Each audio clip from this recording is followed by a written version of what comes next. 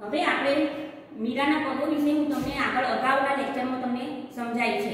હવે આજે આપણે આ સીસી ત્રણસો ચાર, નર્મદની કવિતા વિશેનો આપણે તમને ટોપિક સમજાય તો આપણે, તમે બધા જ પેલી જે સીસી ત્રણસો ત્રણમાં જેમ નોટબુકને જોડે લેજો, એટલે તેથી તમારે આ એકમોનું નોંધ કરતા રહેજો.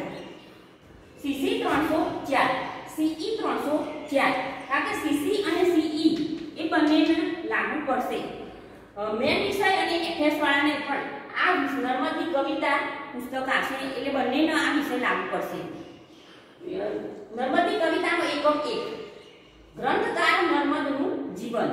હવે આપણે જે નર્મદની કવિતા રહી, એમાં લેખક નર્મદ જે રહ્યા, એમનું જીવન વિશેની વાત કરેલી છે, તો આપણે એમના નર્મદના જીવન વિશેનું પહેલા એકમનો પહેલો પ્રશ્ન સમજાવવાનો રહેશે.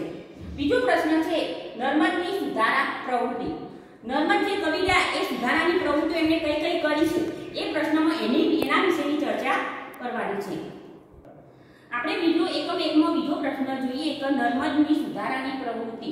એમાં નર્મદે જે સુધારા વિશેની જે કરેલું છે એના વિશેની અંદર ચર્ચા આવશે. નંબર ત્રણ પ્રશ્ન. નર્મદને સાહિત્યકાર તરીકે ઘડનારા છે. તો નર્મદને જે સાહિત્ય લખ્યું છે એમાં એના કયા કયા ઘડનારા પરિબળો છે એના વિશેની કરવામાં આવશે. પછી નંબર પ્રશ્ન ચાર એકમ એકમો પ્રશ્ન ચાર. નર્મદના સમયની સામાજિક સાંસ્કૃતિક રાજકીય પરિસ્થિતિ. તો જે નર્મદ વખતે કઈ કઈ સામાજિક પરિસ્થિતિ સાંસ્કૃતિક આર્થિક જે પરિસ્થિતિઓ છે એનો સમાવેશ આમાં આ પ્રશ્નમાં થશે. હવે આપણે એકમ બે વિષયનો અભ્યાસ કરીએ. સ્ટાર્ટ. હવે આપણે એકમ એકનો અભ્યાસ કરી ગયા એના પછી એકમ બે. એકમ બેમાં નર્મદનું સાહિત્ય અર્પણ. તો સાહિત્ય એના વિશેની અંદર વાત કરવાની રહેશે. પ્રશ્ન બે, નર્મદના સર્જક વિશેષો તો એને જે સર્જકની જે વિશેષતાઓ એની અંદર વાત કરવાની હશે. નંબર ત્રણ, નર્મદનું નિબંધ છે એટલે પ્રદાન. તો નર્મદે જે નિબંધો લખ્યા છે, એમાં એનું પ્રદાન જે એના વિશેની વાત કરવાની રહેશે. નંબર ચાર, નર્મદનું આત્મકથા ક્ષેત્રે પ્રદાન. તો નર્મદે જે આત્મકથા લખી છે, એના વિશેની વાત કરવાની રહેશે. એના પ્રદાનની રહેશે. એકમ ત્રણ.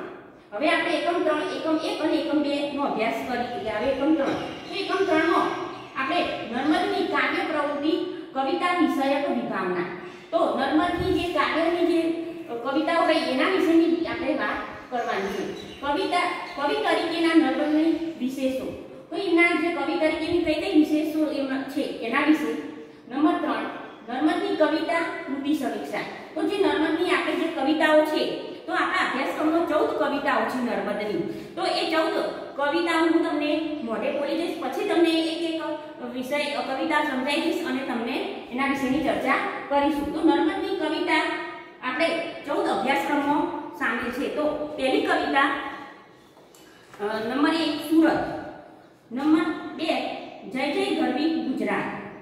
નંબર ત્રણ, કોની કોની છે ગુજરાત. નંબર ચાર ફરી જોબન્યું આપે. નંબર પાંચ ડગલું ભર્યું કે ના ભર્યું? નંબર છ, રણ તો ધીરાનું. નંબર સાત, સૌ ચલો જીતવા જંગ નંબર આઠ, દેખી દારૂ દેશીના દુઃખ. નંબર નવ, જટ ડોળી નાખો રે. નંબર દસ, તડકાના રંગો કેવા રે? નંબર અગિયાર, કબીરવડ. નંબર બાર દુનિયા જૂઠાની જૂઠાની નંબર તેર નર્મદ આખરે ધૂળે ધૂળ. નંબર ચૌદ, નવ કરશો કોઈ સો. આ ચૌદ જે કવિતાઓ છે, એનો આપણે અભ્યાસ કરવાનો છે. હવે તમે આ ચૌદ કવિતાઓ જે સાંભળી, એમાંથી તમે અગિયાર બારમાં પણ એનો અભ્યાસ કરી ચૂક્યા છો બે, ત્રણ કવિતાઓનો.